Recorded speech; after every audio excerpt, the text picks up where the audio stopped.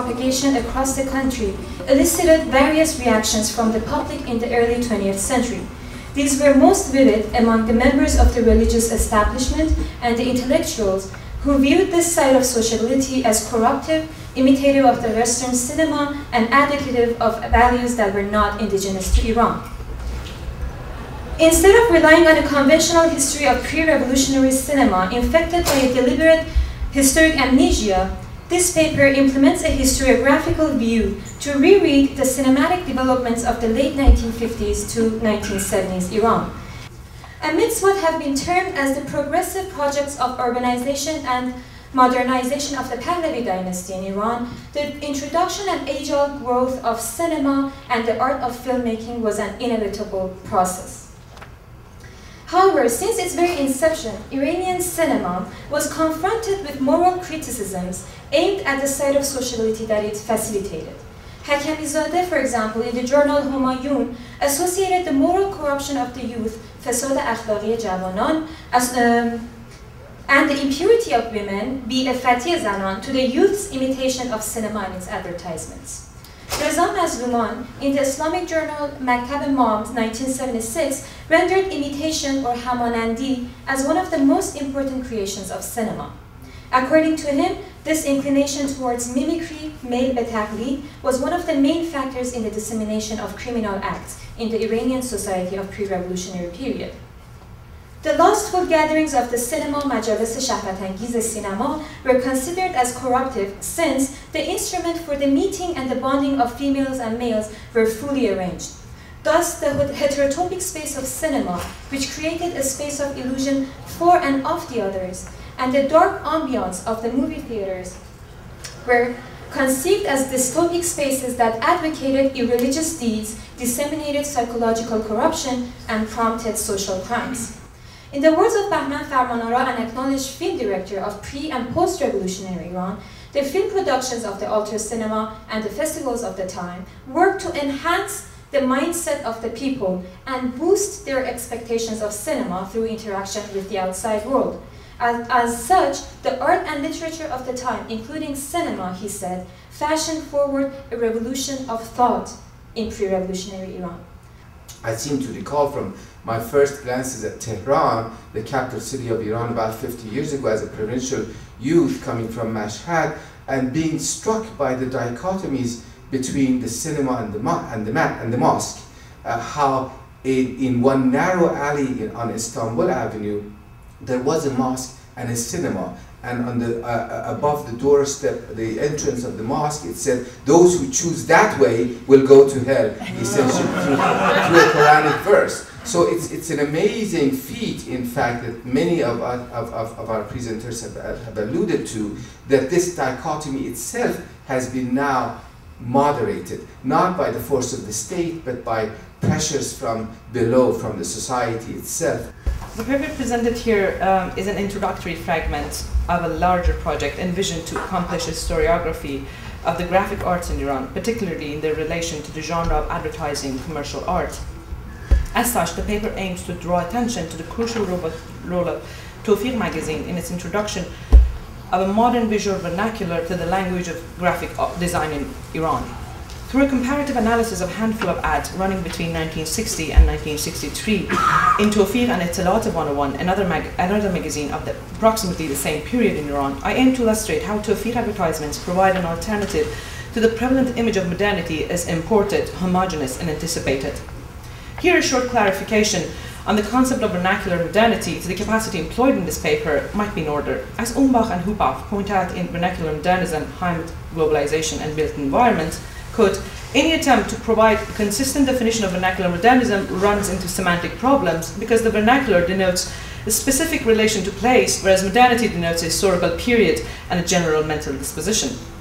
End quote. Thus, the model of vernacular modernity evades a specific definition, not only due to the fluidity of each of the two concepts, but also due to difficulty in correlating two notions that are categorically different.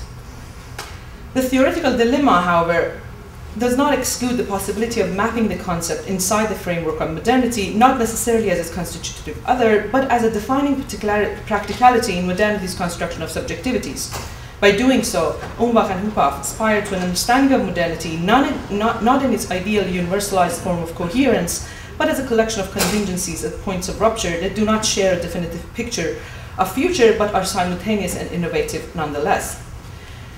A brief look at the history of advertisement in Iran provides a much needed historical context. According to the Ministry of Culture and Islamic Guidance Advertising Bureau, the, face, the first advertisement company in Iran, Ziva, was published in Iran in 1937, and by 1956, a mere 20 years later, there were more than 18 advertisement companies registered only in Tehran. These companies' ads in magazines such as Manawan and Tawfiq are mostly original productions that nevertheless utilize some stylistic pro profiling of the products in their imported formats. Ads running in Etelat Manawan and Tawfiq, although stylistically rather diverse, fit into two very broad categories. Ones that are signed off by advertisement companies, and ones that are either directly borrowed and translated from their Western, mostly European counterparts, prototypes, or designed by and in the style of their respective publications. Even though the boundaries of these categories are rather forgiving, in other words, some ads that are translations could also be signed off by an advertisement company. The distinction would allow for closer tracing of the style of the ads in relation to the artistic style of the publication.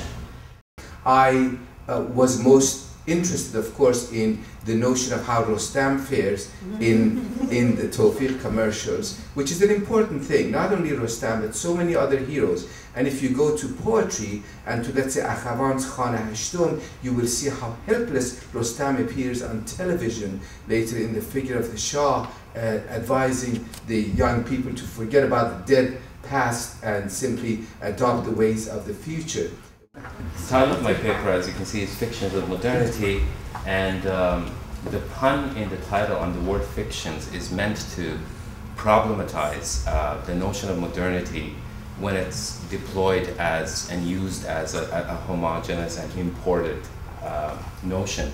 And, and as we know, in the, in the context of Iranian, modern Iranian fiction, uh, that's usually associated, well, almost always associated with Sadiq Hedayat uh, and especially Buf-e Kur. So, uh, and I think its presence, the, the, the, the, gigantic presence of, of Buf-e Kur, I think overshadows uh, fiction writing to this day in Iran. Uh, I'm problematizing that notion, nothing against Sadiq Hedayat, of course. Uh, the almost standard axiom in literary histories of modern Iran asserting that Sadiq Hedayat's The Blind Owl is the first modern Persian novel is symptomatic of a historicist approach to modernity. First, such linear staging and universalizing of history deploys the latent politics of temporal hierarchy. If we were to put this statement about The Blind Owl, published 1936, side by side a similar statement about the first modern European novel, generally ascribed to Don Quixote, Don Quixote, published 1605, we would see through a simple mathematical calculation the politics behind the linear temporal logic. Literary modernity in Iran is some 332 years behind Europe and therefore has a lot of catching up to do. The embodiment of the two contending discourses of Iranian modernity are the figures of Jahel and Fokoli, and this is the main argument of my paper. These character symbols are the archetypal presentations, representations of modern Iranian politics of social identity two strategies of societal development. Set primarily in urban contexts, these arch archetypes, as the quintessential polarities of contemporary Iranian character, are engaged in continuous disciplining and counter-disciplining within a site of contesting narratives of identity. The dysfunctional families of these novels, or of the Jahel Fokoli fraternity, stage a turbulent and contested process of identity formation. These family romances are engaged in the same struggles for a self-definition against perceived superiority of an other, as are the victims in the psychology of neurosis. Uh, the rivalry between this, these two is not very easy. and it's not completely polarized. So you never get Fokoli is good, Jahil is bad, or Jahil is bad, Fokoli is good, or, or vice versa. Um, cinematic treatments are always, and there's always a kind of, certain kind of Jahil which is going to bad. There's also a mix, you know, when you think of a figure of Fardin, I mean, he's got the Jahil in, in him without the mustache and the hat. Uh, and he's got, but he's got the Jahil attributes. And, but he's also got the Fokoli look. In this paper, I explore the emergence of two contemporaneous public dancing subjects in the 20th century Iran, the popular dancing of cabaret and European social dancing, and the high art dance genre of raqs milli performed on polite theatrical stages. I argue that the national dancer constructed throughout 20th century is defined to distantiate itself from the dancer in the cabaret who was often associated with immorality and social corruption.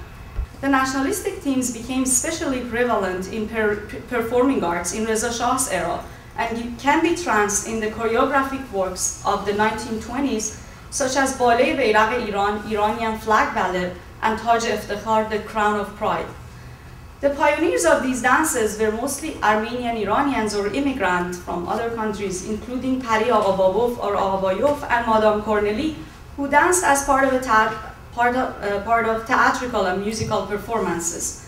The, the trend became more popular in the second Pahlavi period, making the invention of Raqs Milli a genre which fuses Iranian themes of movements into balletic dances and is inspired by the genre of national dance prevalent in the 19th century romantic ballet.